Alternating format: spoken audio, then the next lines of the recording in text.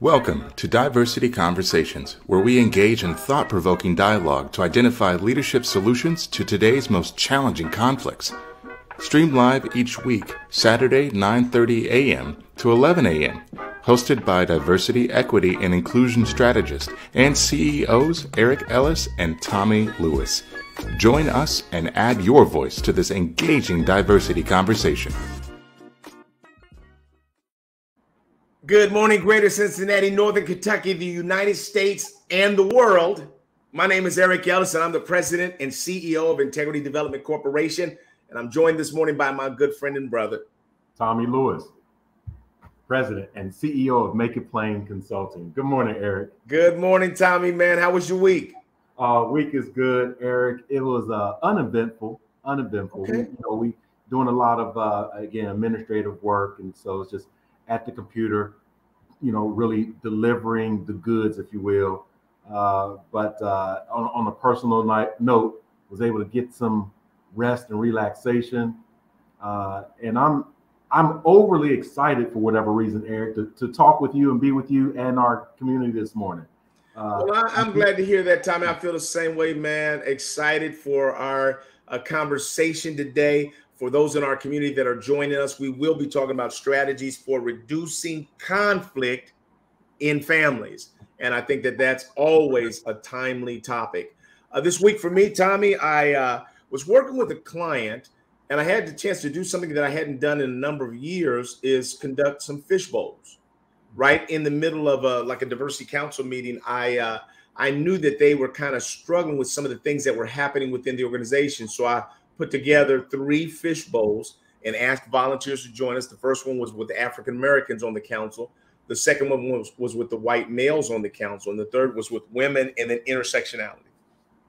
And uh, powerful, Tommy. These uh, fish bowls were powerful. For those that might not be familiar with fish bowls, it's an opportunity for you to bring people together that are in the same sort of demographic and have them sort of form a circle and everybody that's not part of that group is sitting on the outs, outer circle and they're sort of watching people like we watch fish in a fish bowl. And the african americans started talking about what it's like to be african american in this country today what it's like to be african american or black within that company. Uh, and uh, it was powerful man. Uh, there, uh, there was a, a mother that shared that she's just so discouraged by the times that we're living in. She thought we would have been further along. They were coming back from the South and uh, they went through a family reunion, you know, had about four or five cars. They went into a gas station.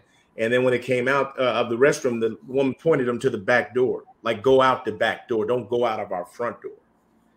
And she said they couldn't believe that they were that that was a request and she said her children start asking about it, and then she just burst into tears. Like, I just hate that my kids had to kind of see this unfold. Uh, and uh, and then the white males uh, fishbowl was really interesting, and uh, many of them were talking about what it's like to be a white male that's on the diversity council, and they're sort of typical white guys, and so they're catching a lot of grief in their community within the organization. Like, what are you doing being a part of that? Almost like you're a sellout you know, and it was uh, very interesting. And then the women's panel, uh, you know, we had people that are part of the LGBTQ uh, Q community that were part of that panel as well, man, and just tears talking about, you know, what it feels like sometimes to feel like you're on an island by yourself. Uh, you know, woman, you come into work, uh, you know, uh, they they scrutinize your dress and everything. So it was just powerful, man. To I think that if people are ever going to be interested in managing their biases, uh, having empathy for one another. They need to know each other's stories. We need to know what we're going through. And I think that that can help to build greater empathy. Uh, the other thing that we're doing is we're doing a, an executive search again for one of our clients. And I love inviting the staff, the board, to sort of uh, encourage candidates to, you know, that they're familiar with to apply for the position. Uh, the challenge is though that oftentimes people can't let it go. You know, they they recommend somebody, then they want to lobby for them the whole way and at, at gunpoint. You know, and so uh, you know that can become a challenge. Uh, and uh, so, uh, Tommy, I love what we do. I'm grateful that for the work that you and I get to do, and and looking forward to the the future in that work. let's talk about this uh, this topic, Tommy. Uh, and I'm going to open up with just sort of as I did some research on the top five reasons uh, people experience conflict within their families. These are the five things that came forward uh, communication issues, differences in values and beliefs. Sometimes financial disagreements can create conflict for people. Uh, for children, sometimes sibling rivalry is uh, it can be a problem not only as children but even up into adulthood and then conflict over roles and responsibilities. Tommy, why is it important for us in the midst of this diversity conversations to to be focused on and talking about strategies for trying to reduce conflict uh, within families? So for the most part eric uh, all of our core beliefs and values come from our families, our immediate educational ecosystem, right? At first, it was our mother that we were birthed from, all human beings. And then, if we had a father uh, that was present or not, we did have a father in one way, shape, or form. Again, we may have siblings, uh, we may have uh, uncles, aunts, and other family members. And so, from our beginnings, particularly through those first three to five to seven years, uh, we were being educated as if we were a piggy, a piggy bank, and these values were being deposited into our bank. How we see the world, how we engage with other people, how we deal with conflict, how we communicate, right? Uh, all of that was being informed uh, we were being informed by all of those experiences. And so uh, that's our, those are our core beliefs, and then they can be reinforced over the years, or we can have events and experiences that challenge those core events. So as we become more, uh, you know, discernible adults, we need to ask the ask the question, you know, where did this come from? Where did my thinking come from? Mm-hmm. Where did my beliefs come from? we can track it back to those five reasons and why uh, it, it, it, came from our families. Right. And I would say that, uh, uh, you know, I've got, uh, so my oldest brother, uh, Duke, uh, died three years ago. he had a son that was outside of his marriage who is now 20. We met him four years ago, but still had never really spent much time but he got connected up with my children, man, and they're just having a ball. So he came and he stayed with us this entire summer. And it was uh, just wild to see how much he valued family. I mean, he was just so glad to be able to call me uncle. Hey, uncle, you know, uh, da da da, you know, he came here, got a job right away. And I could see that family was so important to him that he wanted to sort of avoid any of the little skirmishes that may happen across other family members uh, because he's like hey i'm i ain't messing up this. I i like a big family. I like being a part of family and i want to hold on to all these relationships even if you all may be challenged between each other. And so that was kind of impressive to watch. Uh, let's talk about the first one tommy uh, communication uh, strategies to uh, for managing and reducing conflict within families. So it's important to, uh, to encourage open and honest communication, uh, actively listening to each other's perspective and feelings, addressing misunderstandings promptly and respectfully. Tommy, what are your thoughts about the importance of communication as a strategy to reduce conflict? Eric, when we when we're talking about strategies of reducing conflict within families and this concept of communication, I would say that we have to have the mindset and the heart of love mm. in that communication. Wow. And the reason why is because when we communicate through love, right? Yes, it really elevates the kind of the reason, the purpose mm. of the communication. Right. And again, the purpose is not to hurt, is not to harm, is not to victimize whoever we're talking to within the family, regardless of the event. which generates that energy. Mm-hmm. But when we begin to communicate either what how the event or conversation is impacting us, our feelings, our thoughts, if we begin first with true love, then it begins to reduce the conflict and we can work through the conflict faster when the common denominator is love. I think it's powerful, Tommy. Uh, and uh, my prayer, uh, wish and prayer would be that more people would embrace that. My experience is that sometimes in families, that can be a, ch- a challenge. Yeah. Uh, you know, you just assume that love undergirds this thing, and then you sort of go for what you know. I, I know that the family that I grew up in was a family that was oriented towards debate and competitive conversation. We were always jousting, you know, intellectual jousting. And uh, when I uh, uh, met Judy and we got married, uh, I thought that was going to be so enjoyable to be able to debate because she's got a great mind. And she was like, I don't know what kind of dysfunctional family you grew up with, but I got to take you off the communication training because that ain't right. Mm-hmm. And literally, I learned the skill of empathic listening and uh, have been working on that uh, from the time that we got married uh, some 34 years ago to today. And so, uh, love is kind of something that we assume is there. We hope that it's enough, uh, but oftentimes our family patterns that we grew up with can interrupt our ability to focus on love. Yeah, yeah, Eric, I absolutely agree. I think uh, you know both of our perspectives and our lived experiences converge into effective communication. Right. Yeah. That, so so there is love, and sometimes it's just a four-letter word, and sometimes it's a real deep feeling. In the mm. course of conflict, uh, I have found myself, particularly with my wife, there's some conversations that we have that I completely disagree with. Mm-hmm.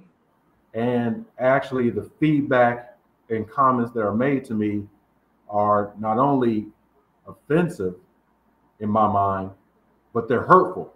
Mm-hmm. And when I feel hurt, I get defensive. Right. And if I get overly defensive, I get angry.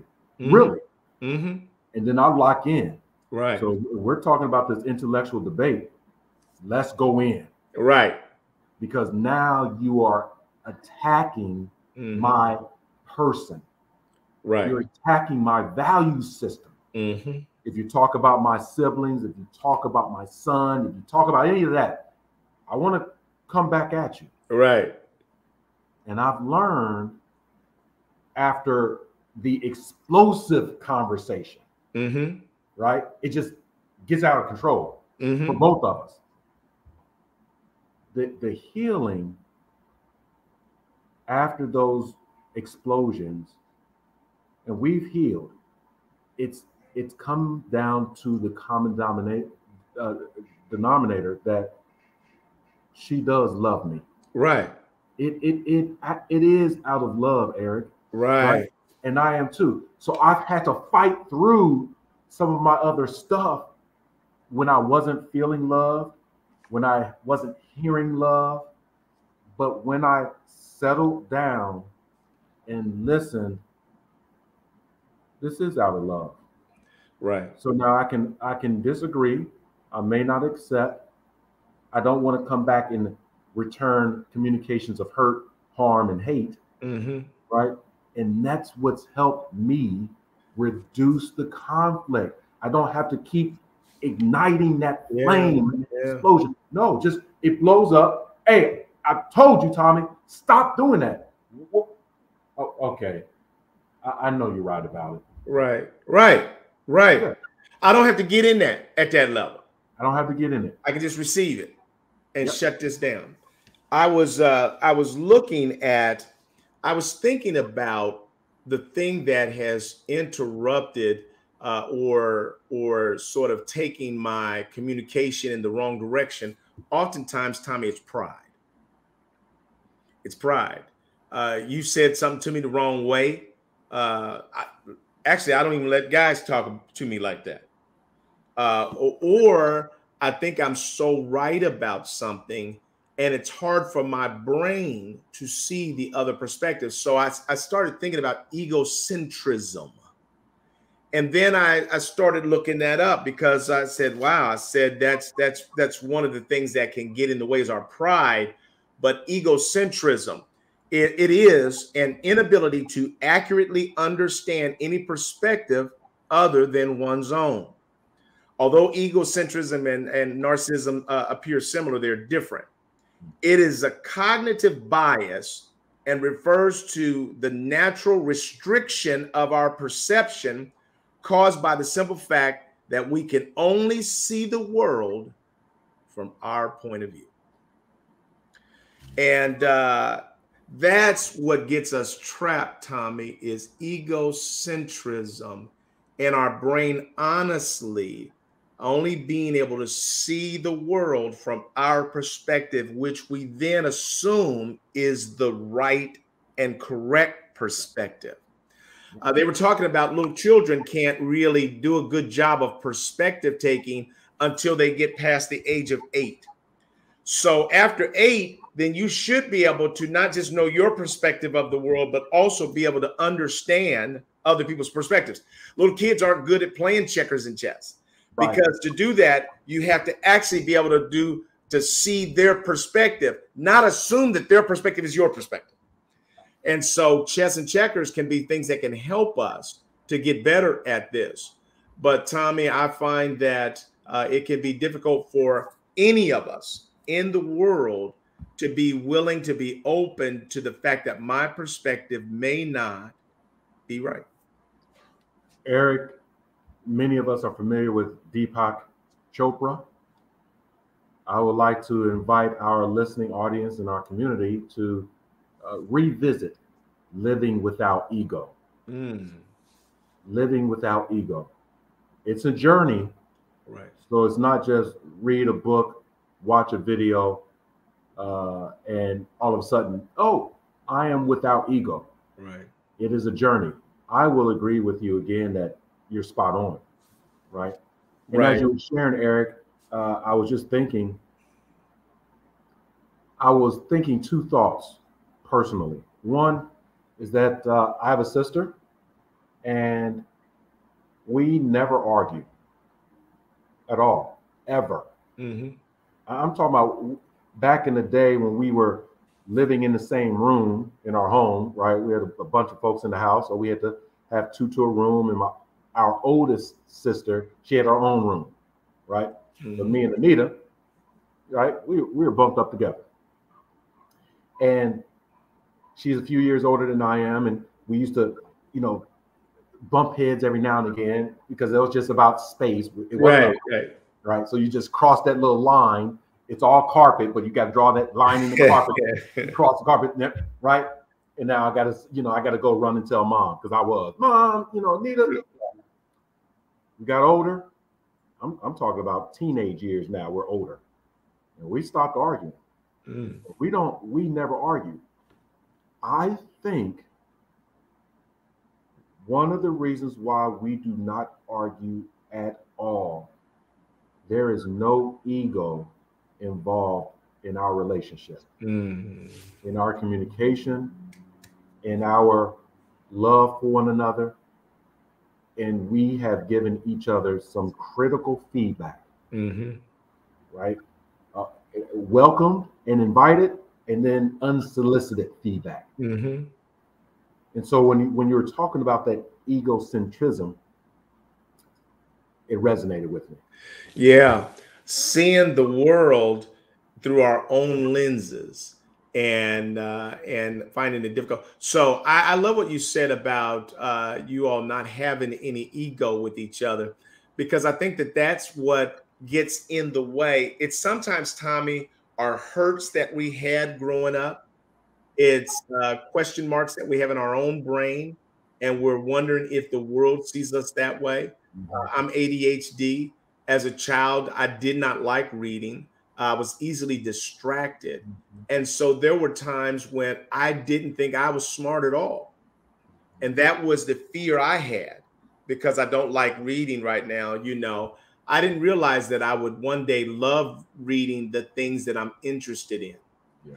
Uh, but but I have the so I have a squishy spot then around intelligence. Mm-hmm. And so if anybody sort of challenges that, I take the fight when there's no need to. But the reason why I'm taking the fight is I'm still in elementary school.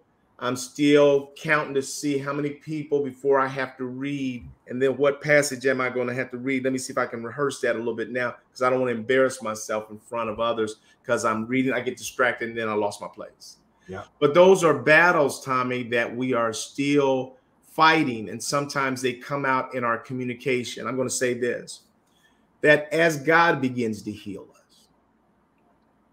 and as we get counseling or we get learning or reinforcement from other positive people that that thing that we thought was true about ourselves is not true, then I think that we're in a healthier place where we no longer have to fight other people over it. Because really, the battle is we're fighting ourselves. We're already lowballing ourselves. And we do need healing from that. If we don't get that healing, we'll constantly be fighting somebody else like it's their problem when sometimes it's ours you're spot on. As Lydia says, Eric, she calls it the uh, inner critic. Mm-hmm. That, that's what it is. Uh, that's spot on, right? Right. the ego, the inner critic, in a sense, is one perceiving the problems, flaws, etc. It may not even be true. Most often, it's not.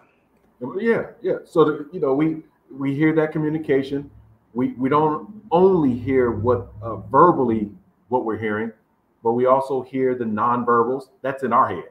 Right. But yeah, that's our own. We're adding meaning to that. Yes, we're adding. You made meaning. it smart, but I added the meaning. That's it. And then that meaning, that meaning that we are creating, generates some energy in us. Yeah. Right. What what what what, what you say? I, no, I just said that uh, you promised. Oh, oh, I did promise. Right. And I got all mad because you reminded me that I promised. Right. Man, it can be a vicious cycle, boy. Absolutely. Let's continue on.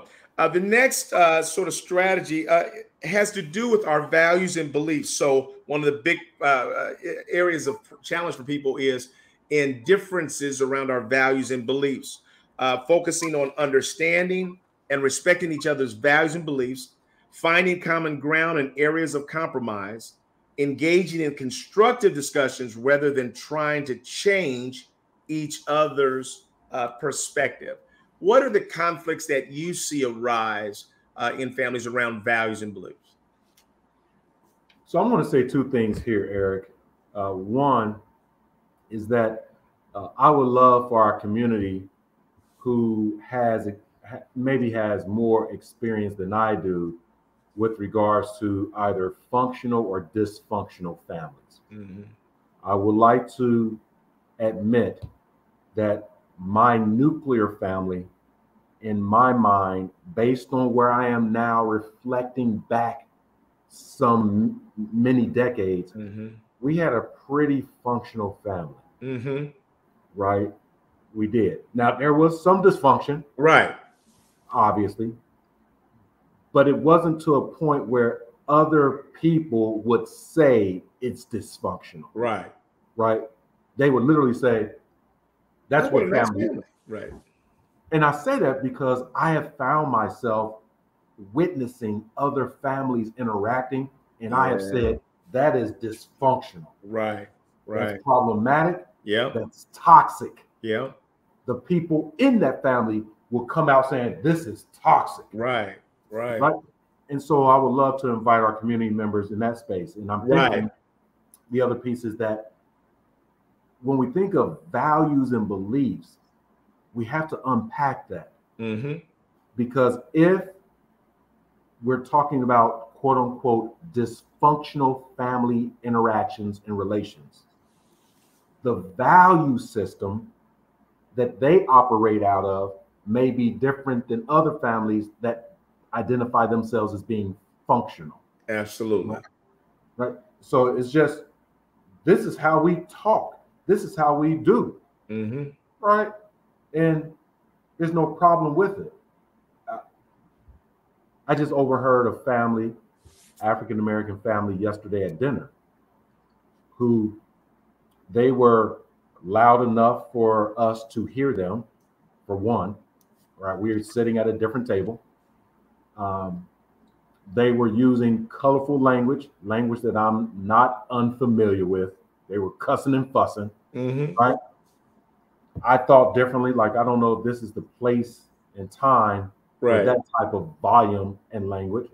But in anywho, uh, and then a a bit of a heated discussion started to happen.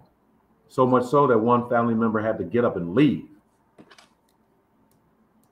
So I didn't know, I didn't know what was the belief Mm-hmm. around that family, Mhm. such that the discussion became a conflict and the conflict was driving some behavior. Mm-hmm. And so, as I put a bow around my comments around this values and beliefs, um, I do think that it's both individual values and beliefs and it's collective values and beliefs. Right. And there may be at times a collision Right. between that individual belief and the collective belief that creates that conflict. Right. I, I agree with that, Tommy. Uh, and I will never forget looking back on it now, it's kind of wow. But I'm going to tie together this second one around values and beliefs and the first one. So when Judy and I were getting ready to get married, I had made an assumption. I never thought about it actually, that she Mhm. would just take my last name. Never even thought about it. Yep. And then she said, uh, "Well, I'm not sure, you know, what name I want to take." Huh? well, you don't love me? Now, look, Tommy, my brain, egocentrism, could only see that conflict from my worldview. That everybody I know has always, the wife took the name of the husband. So much so that I never even considered that there was another option. And literally, Tommy, that stalled us for a minute. Oh, we were at a stalemate, man. We weren't finishing that up in one conversation. Uh, and then finally, Tommy, I had, I mean, God had to wrestle me down to if you love this woman the way you say, then this has got to become a non issue for you. ooh, And I was like, what? And so then I went back and I said, Judy, look, Tommy, I finally thought it through. God gave me that, but then he gave me an example of if you've been Eric Ellis all of your life, and now you're Eric Baldwin, what would that do to your identity? I said, Yeah. I put a lot of years of investment into Eric Ellis. Almost, you know, 28 years. Yeah. I, I'm not going easily. And I, as soon as I saw it that way, Tommy, perspective, I was able to go back to her and say, Hey, Judy, I'm fine with that. And she said, I'll take your name. Mhm. Huh? After all that, why did we have to do? But it's just, uh, I mean, it's just our values and beliefs. At, at the wedding, I remember she she joked about it to the kids uh, a couple days ago. I didn't believe in dancing. So I, you know, I was in the world forever. And then I got into church and I was in a conservative church, the Church of God, which didn't dance, you know, go to movies or anything. So I was like, no, we can't have no dancing at the uh, wedding, you know, da da da. Man, it was just crazy how your value systems can create conflict, especially if you tie in egocentrism and an unwillingness to see that there are other viable options that are legitimate. Eric, I, again, I want our community. Let, let me be specific. I'm listening. I'm hearing. So I was going to say I want our community to really listen and kind of attach what we're talking about today in reducing conflict in families, and really look at yourself. But I'm not going to do that because as you're talking about your family, your situation, man, I have a laundry list of situations in my own family, even currently. Right. You, you talked about different belief systems, right? From even religious belief yeah, systems. Absolutely. in my family, as I have a blended married family, right? My family that's sprinkled through marriages, my wife's family that's sprinkled through marriages. We have different religions. Some people don't even practice religion. Right. They're atheists or agnostic. Yeah. Right? And so there are certain conversations that we have or don't have. That's right. Wisely don't have. Wisely don't have. Based on values and beliefs. Right. So if we were to get into this discussion around this value belief, it will blow up. Right. Because folks will why? Folks will really dig in. Right. Right. Dig in. And I just know I, I have brother-in-laws, sister-in-laws, uh, and and they run their own families. Mm-hmm. I have had to learn through experience and now wisdom right. that I manage my home and my family right. to reduce stress, mm. reduce conflict. Eric, I used to be, uh, why? Yeah, why? jumping on every issue. Yeah. No train that came by, you had to test it out. I had to test it out. Folks, you can come over to the house. We can talk about nothing, right? My value system, Eric, is to talk about something that's uplifting. Right. My mind is when we have these conversations, once we move beyond how was your weekend? What's the weather? What's the professional football teams doing? Once we move beyond that surface stuff, I do want to build, right? Time out. It's been 14, 15 years, and I have not had a building conversation. So, Tommy, dismount. I've had to, I'm out. Okay. Abort, abort, abort, abort, Eric, abort. Good grief. Get in the capsule and jettison into space. Right. Right. And be comfortable floating in the conversation, never landing, right? Never, never thrusting into a particular direction. Just go with the flow.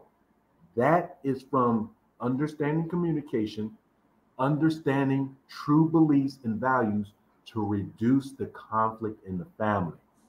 Right. And a lot of people don't want to get there, but at a certain point, you have to get there. Let's see what Lady said. This. Everything we think and speak is a belief. That's the reason. A lot of value to know ourselves and explore our own belief systems. I totally agree with that. A lot of times we are not putting our own belief systems on trial. We are uh, we are literally putting other people's beliefs.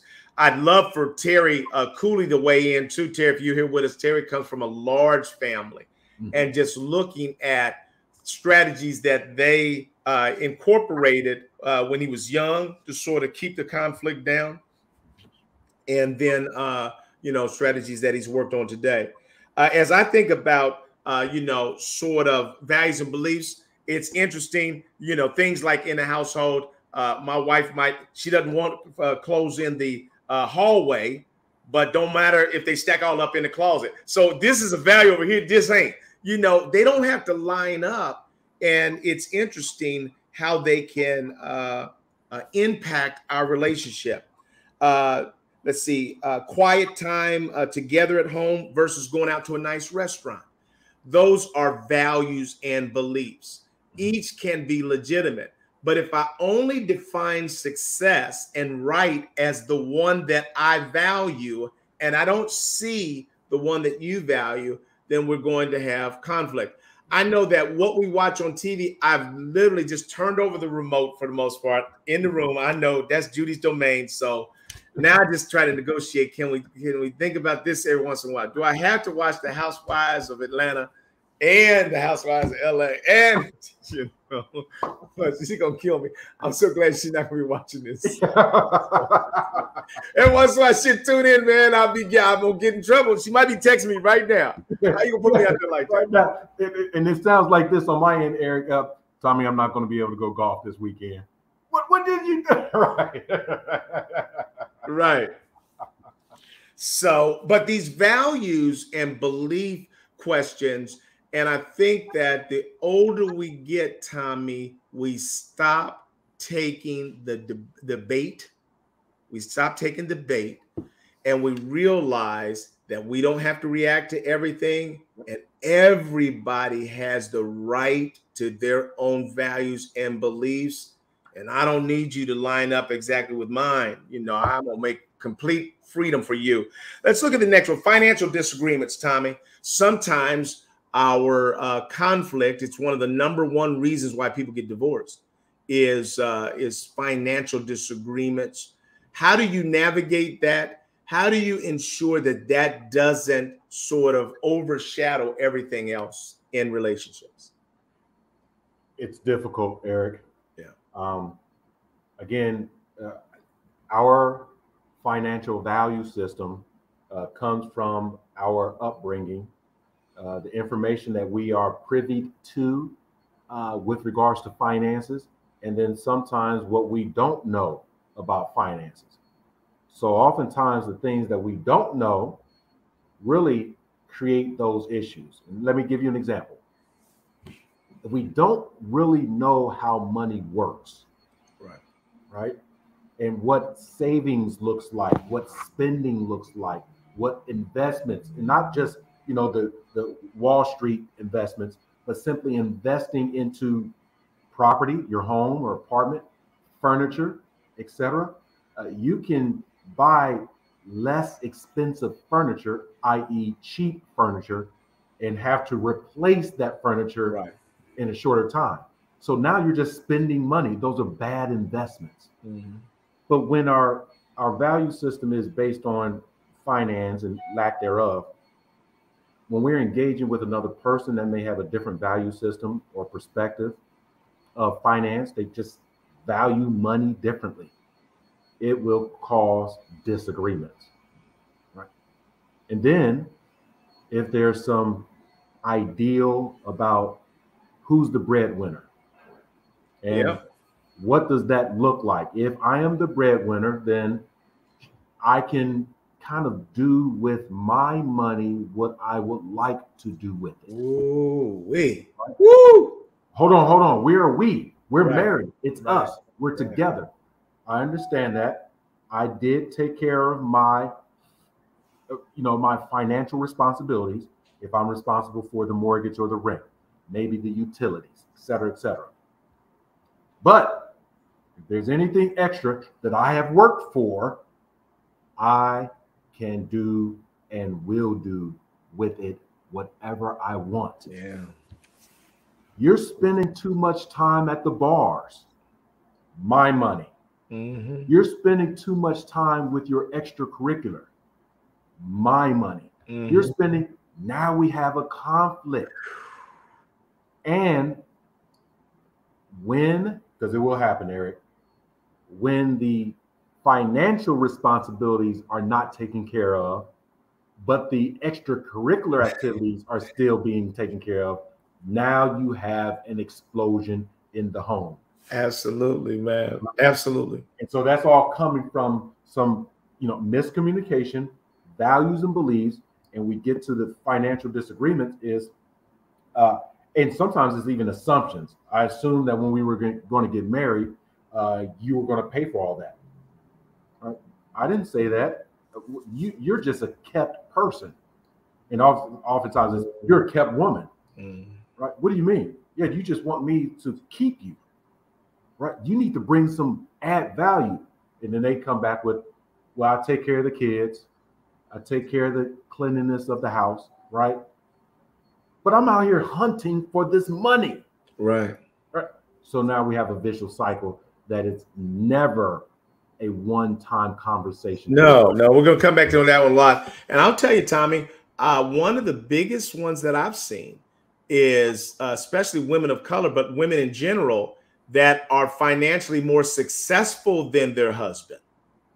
Men are pathetic at. I, have I've I've I've observed women having to do so much ego stroking of men who are insecure because their wife has a, a powerful position or brings in more money than they do.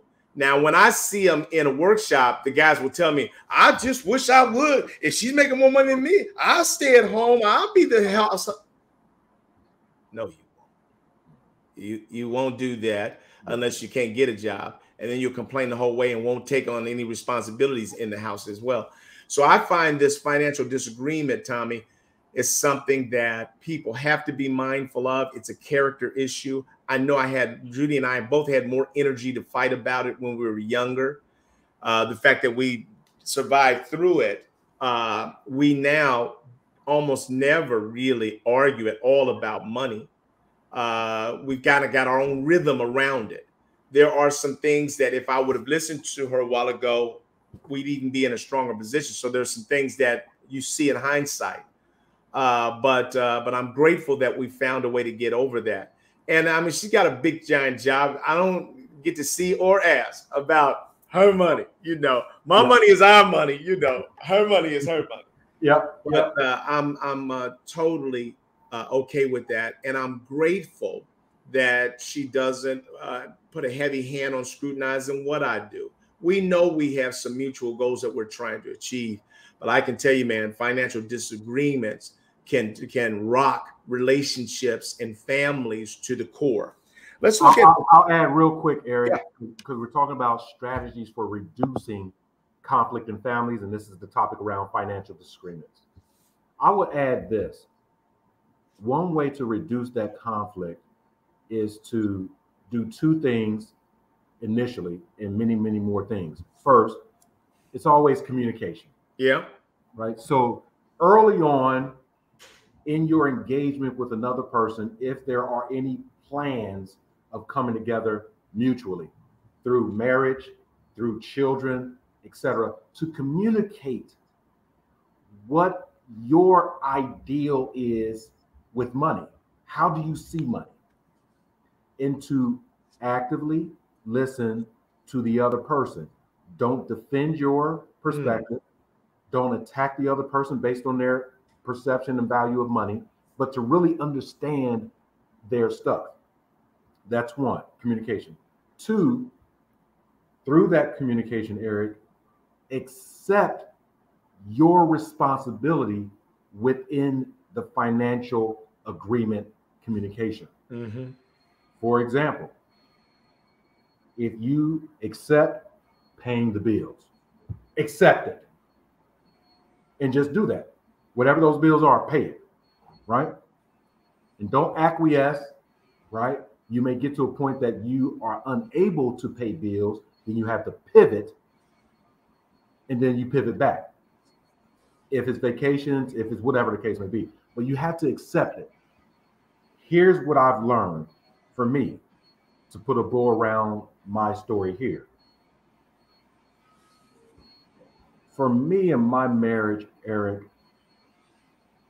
I am actually getting out of it exactly what I told myself many moons ago.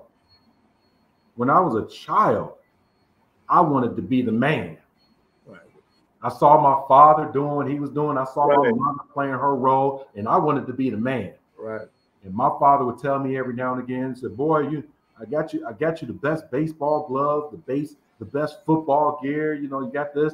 You know, I'm working hard to put this on you thanks, Dad. I was, you know, I was very gracious, and I thought when I when I'm the man of my household, right. I'm going to be able to do that. I'll right. take care of the bills. I'll take care of it. Be careful what you ask for. Right.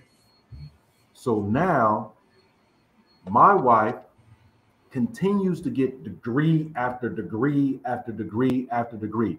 I value education. She's always in school. She uh, just finished her second master's degree in another field that she's going to go into. Right. Why is there a reduction of conflict, Eric?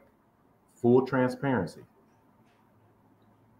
I'm okay with my wife not working, pursuing her dreams because she articulated to me what her dream was. She wants to help people. Mm-hmm.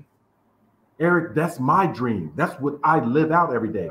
I help people, I help individuals, and I'm saying, hold on, Penny, hold on. I, let's put together a plan. Get your master's degree, your PhD, start your own business. Right. We will have a, a, a standalone building.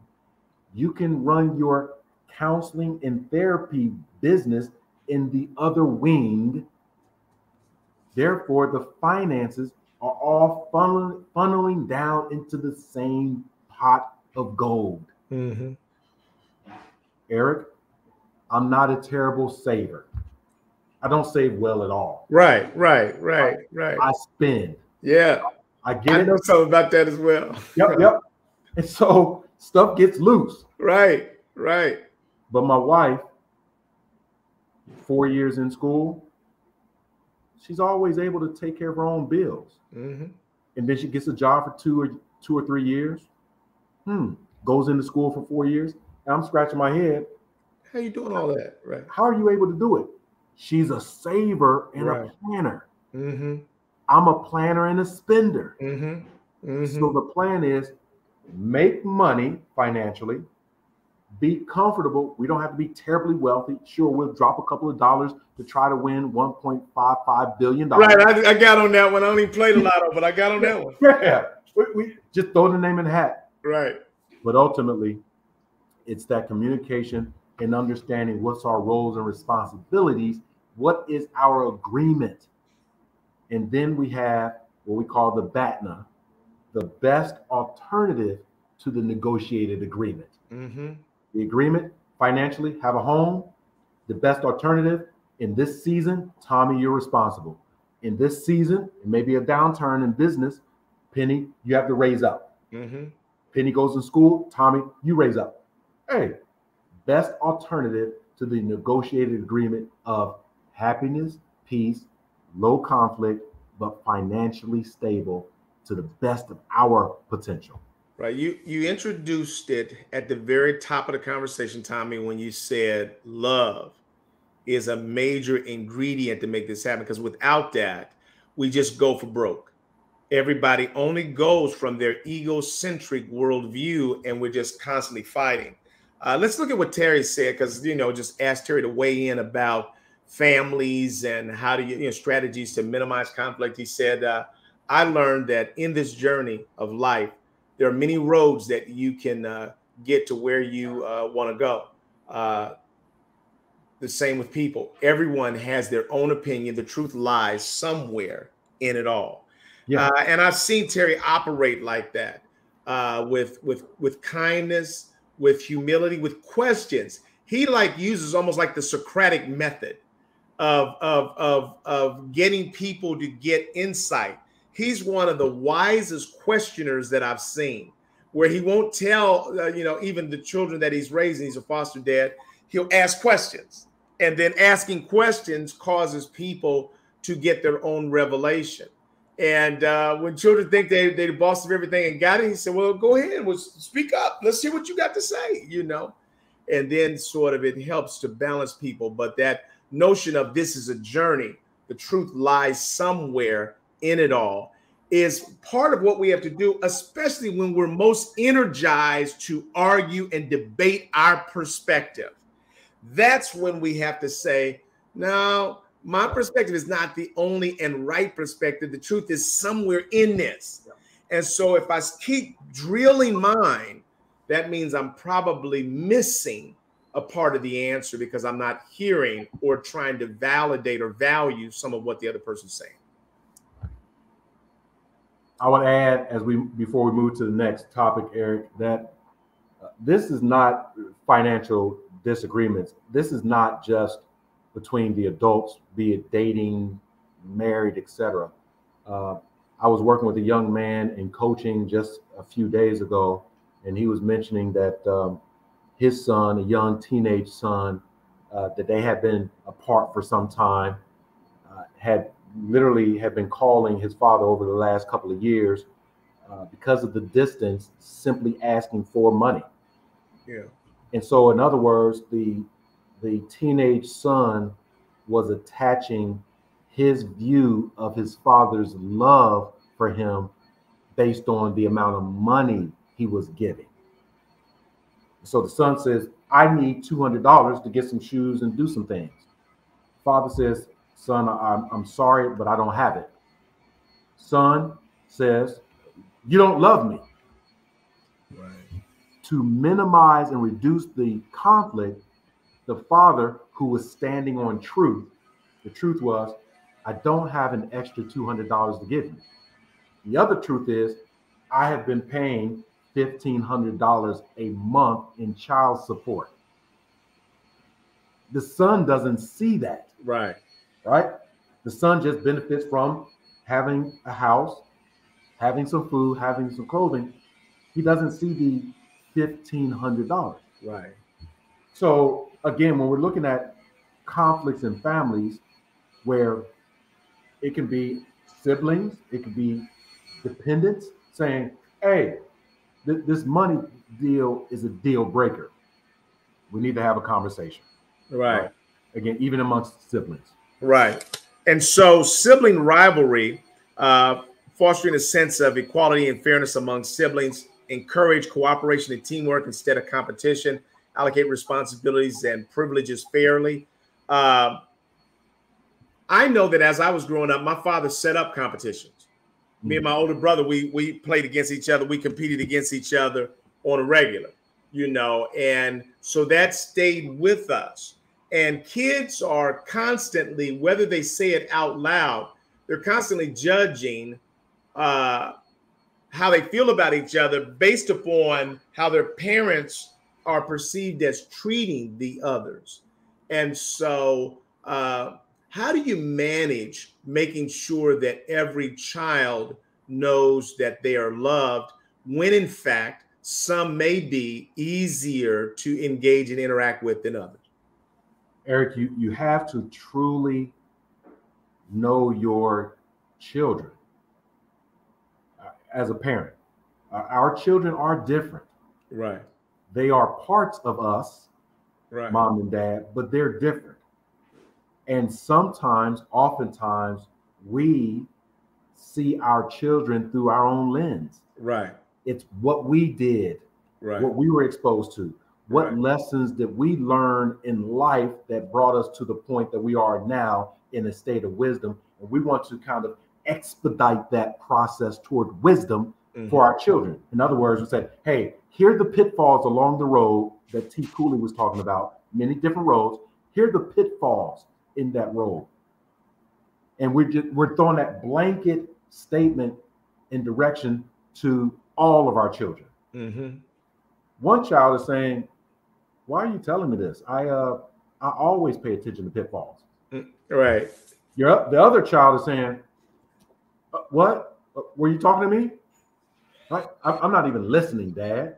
Right?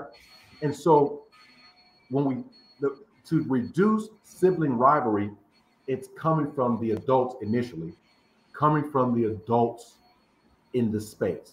They, the adults, generate the culture of the, the family. What do the chi- what are the children's exposed to? Right? Uh, what are they not exposed to? So my my mother, she was she worked in healthcare for 30 plus years easily. Mm-hmm. Right? So anything that had to do with the human body, uh, she had a scientific explanation for it. Okay. Right? If it had anything to do with sex, there's a science behind it. Right. If it had anything to do with pain, there was a science behind it. If it had anything to do with anything, it, there was a science about the body. Mm-hmm. Because she saw bodies intact and opened up. Mm-hmm. I was interested in that, the science. I had one sister could not care less. Right, right. And so what I would say to my other sister, she, she was who was older, I would say, Zion, you need to pay attention to this. Right. little boy, right, much older. I don't have to pay attention to this. She's mama's talking to you, right, and and then a little rivalry starts to bubble, right? I pay attention to mom and dad. You don't. My right. sister would say, the mom and dad that I know is different than the mom and dad you know. Mm. Because I'm 12 years older than you, boy. Right, right. And so understanding, you know, mm. sibling rivalry can be from both the parents down and bubble up from within. Right. Right. I'm gonna give you a touchy area, Tommy. The touchy area is how should parents talk to one child about the others? And I think that that's a fine, there's a fine line in there, Tommy. It would be easy to say. And uh, the, so the rule that I would choose on automatic is don't do it. Parents don't talk to one kid about, about the other. But in reality, sometimes your children may even need to talk about the other and the relationship or lack of relationship that they have. Judy and I slightly differ, just slightly. But uh, I just don't, I want to be able to say something about them that even if they were here, I would be willing to kind of say that. Uh, I am never joining in, sort of piling up with one kid on another.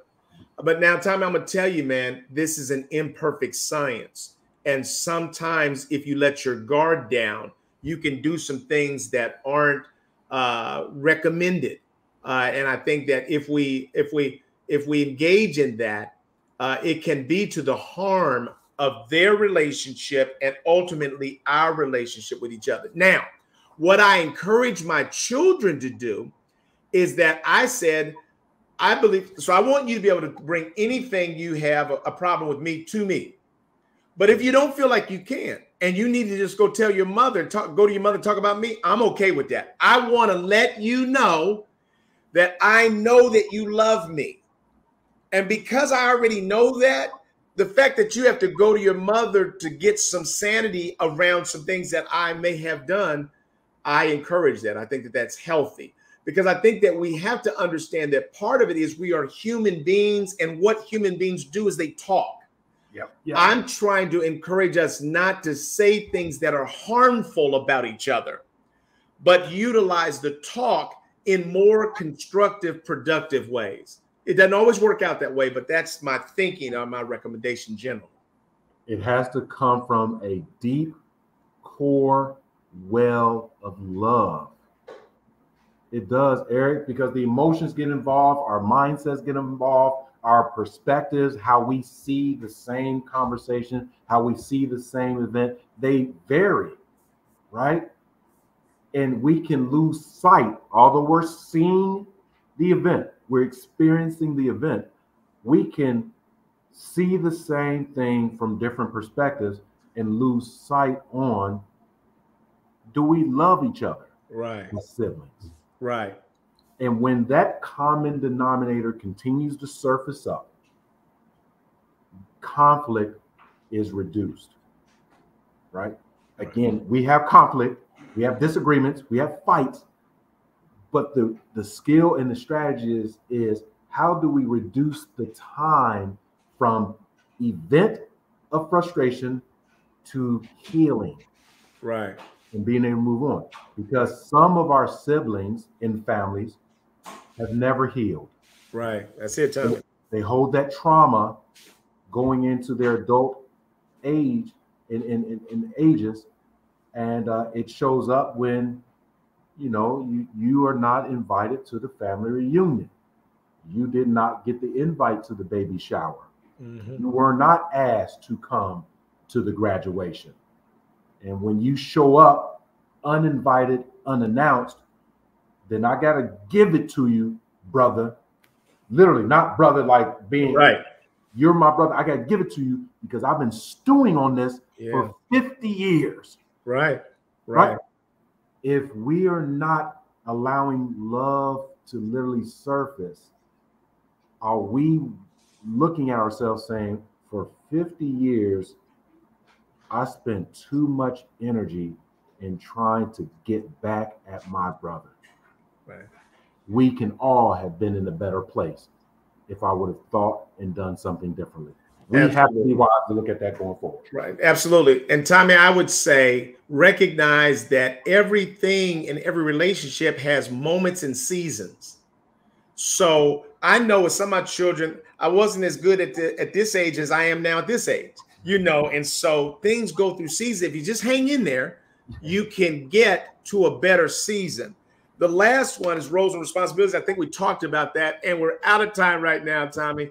Tommy, this hour has flown by, and I really appreciate our conversation about strategies that all of us can employ to try to reduce the conflict uh, that happens within our families. Because what I would say is that there are some conflicts that are necessary and actually even productive. But when we get to dysfunctional and destructive con- uh, conflicts, those are the things that we want to try to work on repairing. And I would say, and we've certainly suggested it here, is that if you move away from egocentrism, then you will recognize that you have some growth and development and work that you need to do on yourself as well if we're going to bridge these conflicts more uh, uh successfully. Tommy, say the final word and then we'll uh, call it a day. This is always an ongoing conversation uh, strategies for reducing conflict in families. Uh, we have families for a reason. Some of them we've asked for, some of them we have not, but we all are family. And so, as we look at this diversity conversation, we want you to go back into your respective families and communities and employ some of those more productive strategies. Until the next time, until our next installment of Diversity Conversations, please be blessed, be safe, and take care of each other. We'll see you soon. Take care. Bye now.